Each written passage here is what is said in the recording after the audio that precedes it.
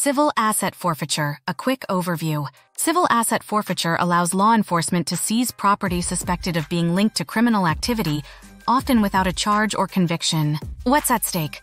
From cars to cash, almost anything can be seized. The burden usually falls on the owner to prove innocence. Why, it's hotly debated.